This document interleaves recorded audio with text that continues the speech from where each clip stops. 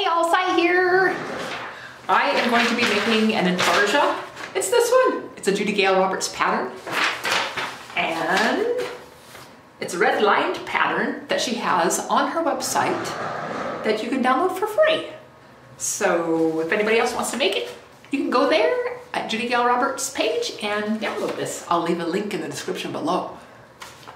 I took the pattern and I cut it up into pieces. Yes, sir. And I'm gonna put each piece on a piece of wood. I always have a hard time picking out the pieces of wood, but I think I found some I really like. And we have some uh, construction going on, so it's kind of loud. So I'll probably just be uh, voice-overing the rest of this. So I laid out the pieces on the wood, looking at the grain patterns of the wood and the recommended direction of the grain for the piece as noted on the pattern with a little arrow. Then I started feeding my pieces through my sticker machine. Then my sticker machine jammed up, but I was able to get the paper out. It was wrinkly, but my pieces looked fine, and they stuck onto the wood just fine.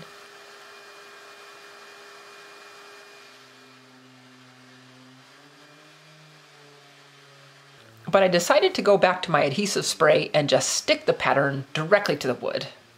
That sticker incident was enough for the day. I'll try to deal with that sticker machine later.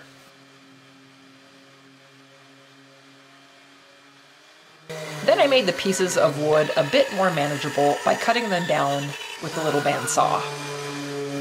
Then I took all of those pieces to my Hegner scroll saw and turned on my magnification light and cut away.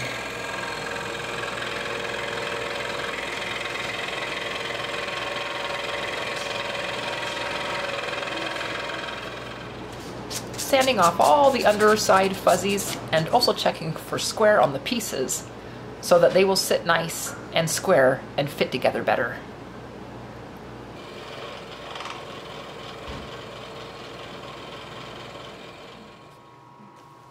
For the nose, I used a small piece of Padauk and shaped it into a cone. And here are all the pieces.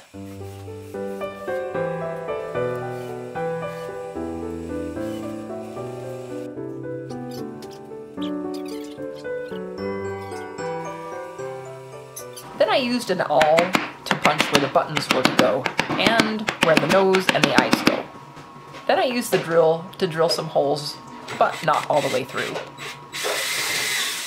Then I took the papers off. I used mineral spirits to help remove some that were stuck on there pretty good. Then I started shaping using the big pneumatic drum sander with 100 grit marking with a pencil how far I wanted to take a piece down, considering the neighboring pieces and stuff.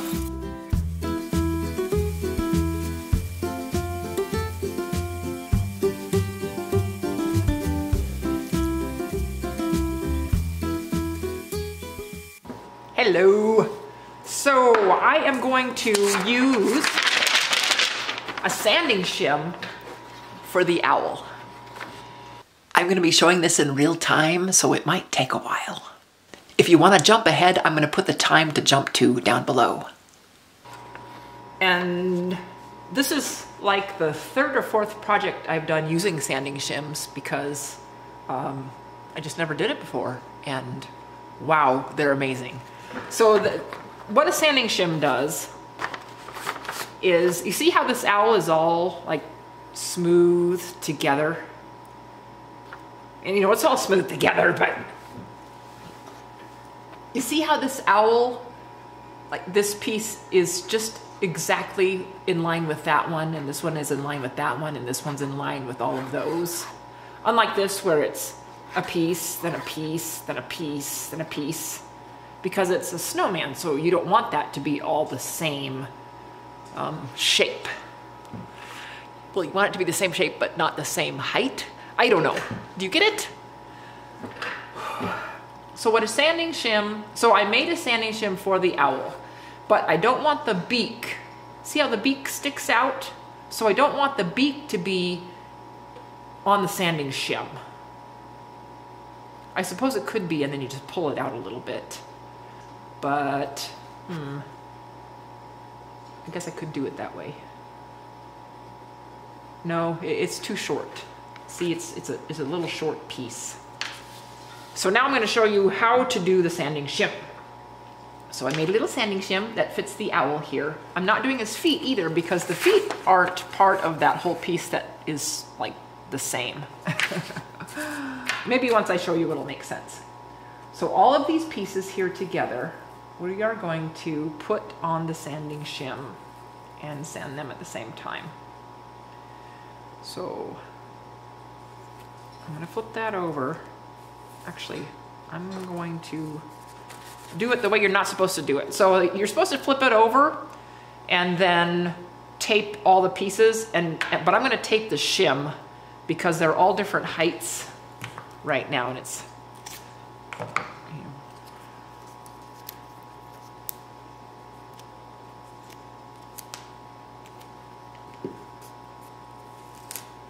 Again, there's a ton of different ways to do things, but this is uh, this is a Judy Gale Roberts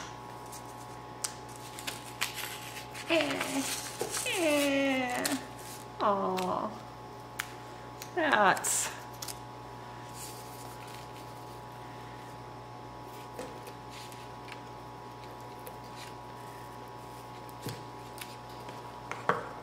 Okay.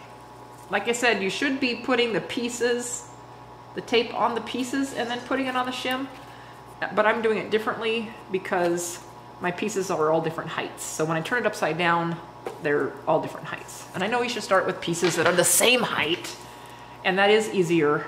I'm just gonna pop the nose out now because I don't want to sand the nose.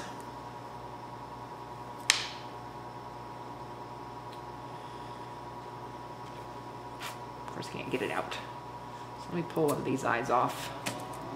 And the forehead off. And get the nose out. And I'm gonna just stuff the nose up like that so I can get those back in their proper places. Forehead and the eye.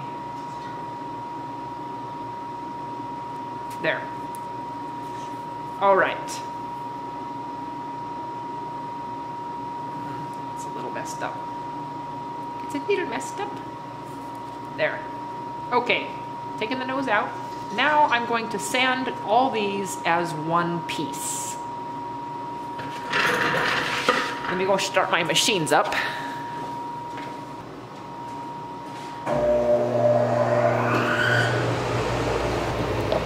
Let's put it back for a second so I can mark some things because I don't want to make it too low. Gotta put it in the right spot.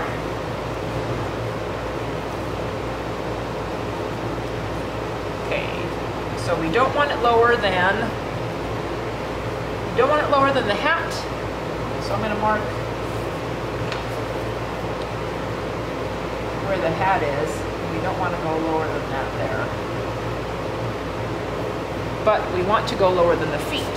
So I'll put mark that where the feet are and the branch, another foot. Okay, so we want to go lower than that. All right, here we go. And you got to hang on to them sometimes because they'll fly off because they aren't attached. You know, they're, you know, they're not, they can fly off easily. Get below that line of the feet and branch.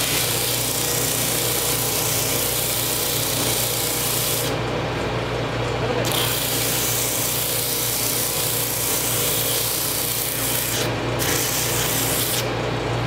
There. Now we'll just keep going with that.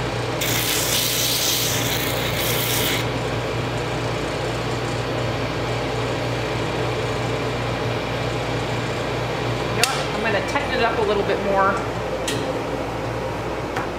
Since it's kind of loose on the shim, I'm going to glue them together on the inside with each other, piece to piece.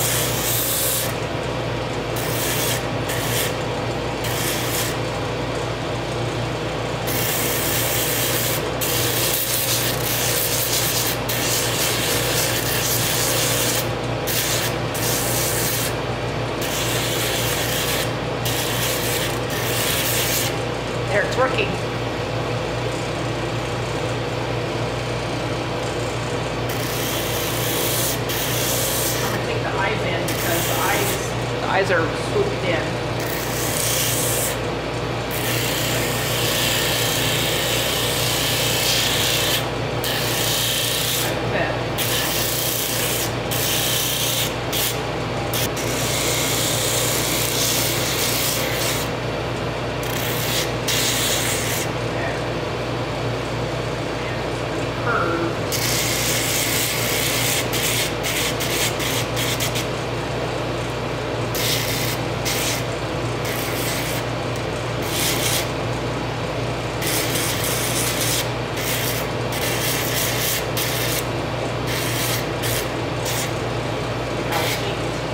now you can see they're, you know, the same shape overall,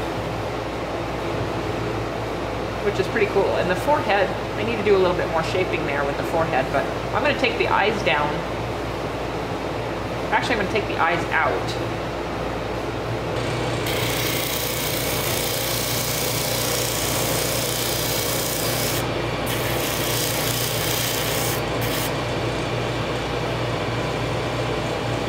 That piece. Okay. There. Okay. Nice. And now let's see the nose. Right, now I'm going to take the owl off of the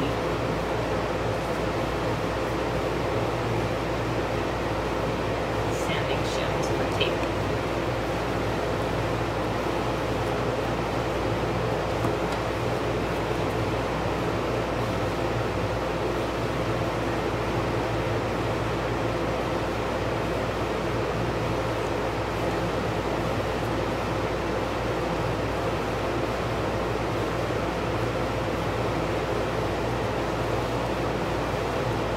Let's keep it together.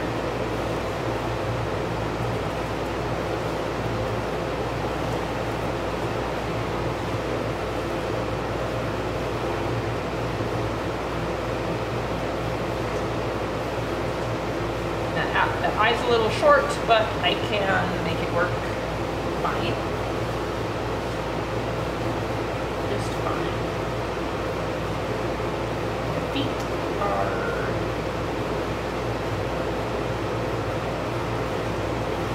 there. There. Then I continued shaping everything.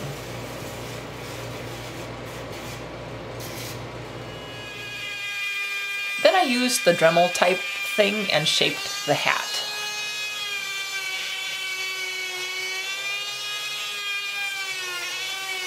And hand sanded.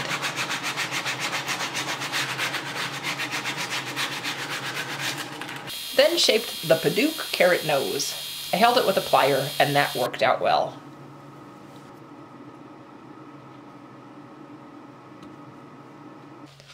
went to the flex drum sander and with 220 grit, I sanded over everything.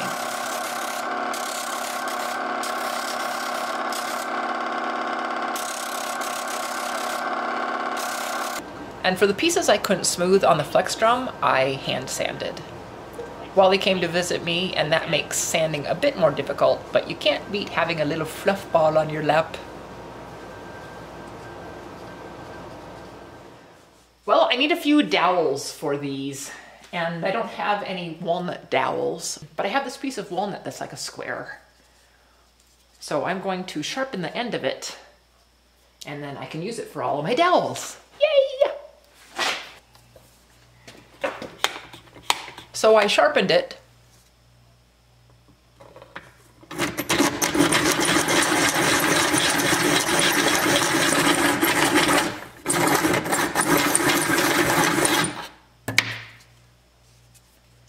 Cut the tip off of it and did that four more times and put them all in place.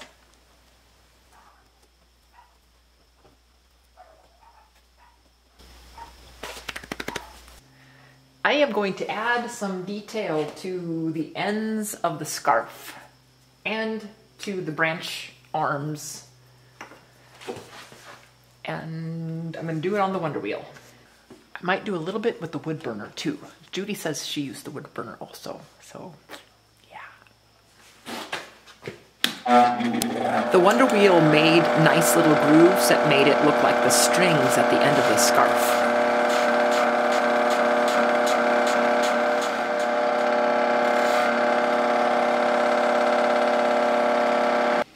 For the branches, I'm going to draw them on there so I have something to follow.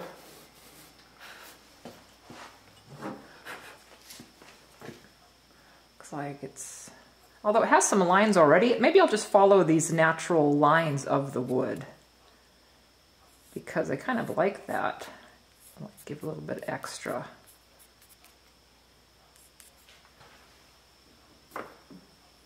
Yeah, see the natural lines of that wood? Ooh, I think I might not even put some stuff in there because it looks, I, I licked it to see how it was going to look. And anyway, yeah. So I, uh, yeah, I think I won't put these lines on it. I think I won't use the Wonder Wheel. Although I love the Wonder Wheel. I'm gonna take these off. I'll sand them off. I am going to start working on the eyeballs of the owl. And from this picture, it looks like they, you know, just a little bit, they're flat, but there's a little bit higher than the hole. And I think I need a real sharp pencil for that. Let me get uh, my mechanical pencil. Here's my magnetic bowl that I keep attached to my scroll saw. It's very nice has some little sandpapers in it, my square, some Allen wrenches I might need, my thingy to change my blade, pencils, and the popsicle sticks or tongue depressors.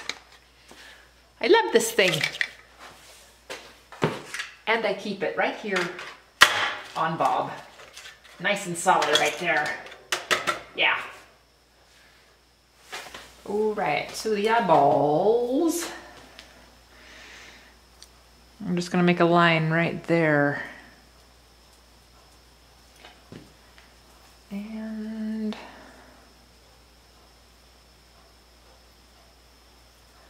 right there.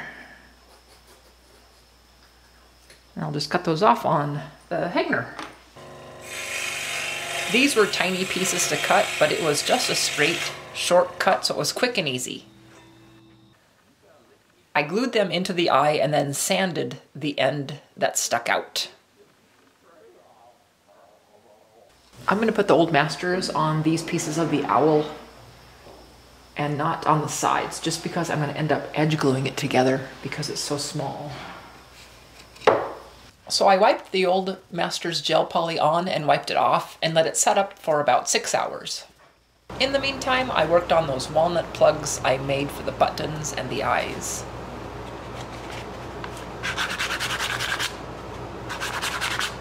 I'm going to put pickling white on the snowman body and the snow.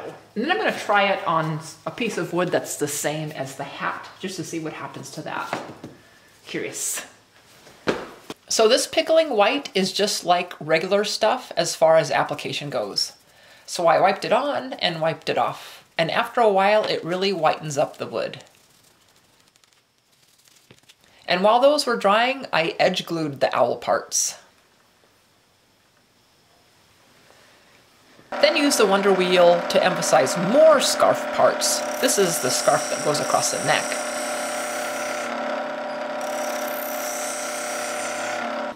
Then hand sanded it with 220. Then worked on the tiny beak of the owl. All those other parts were now nice and set up, and the beak was the last thing to do on the owl. Then I worked on the buttons and eyes some more, and I didn't like them, so I found a dowel and used that instead. Oh, these things are not going to work. So I have to make them over again, but this, yes, this will work. They were much better, but they were now too light. So I stirred up some dark stain and put it on the eyes. Then stirred up some chestnut stain and put that on the buttons. Then I put Old Masters polygel on the rest of the pieces, including a coat over the top of the white pieces now that they were all dry and stuff. Then I set out a large piece of paper and sprayed it lightly with an adhesive. Then I put the whole project onto the piece of paper. Then I traced around it, and I like to use a mechanical pencil because the lead doesn't get onto my project. And anyone that uses a mechanical pencil versus a regular pencil will know what I'm talking about.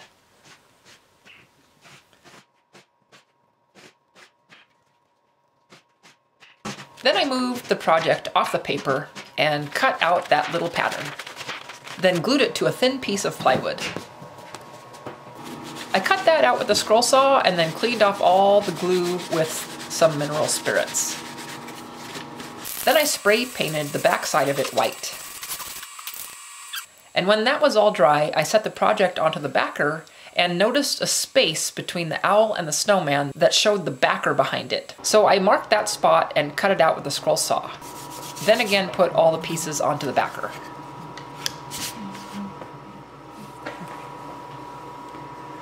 And started gluing the pieces. I glue a few pieces at a time and let them set up for about 20 minutes, then glue on some more pieces. This really helps keep the project pieces from drifting. It takes longer, but it's worth it. Once all of the big pieces were glued and set, then I glued in the buttons and eyes and nose. Then I used the wood burner to add some little dots on the buttons. Sorry it's blurry. Alrighty, so see. supposed to stand up. Yeah, it stands up, but it's a little bit on the yikes side. So I think I'll add some more snow back here just to help with it being more stable. Yeah, that'll be cool. That'll work. Then I can add a verse. So I spray painted the extra snow and then tried to put an ink transfer onto it. The verse I put is Job 38:22. It says, "Have you entered the storehouses of the snow, or have you seen the storehouses of the hail?" But the ink never dried on the painted surface, so I ended up wiping it off and writing the verse address on the bottom. Which I never got a picture of. I'm sorry. Then I glued the extra snow to the back side. Well, the snowman's all done. Yay! And adding that little bit on the back uh, made it stand up much, much more sturdy. Much sturdier. Did I mention that this is a free pattern by Judy Gale Roberts? All you have to do is go to her website and you can download it. It was great fun making this, and thanks for joining me. So we'll see you next time. Bye!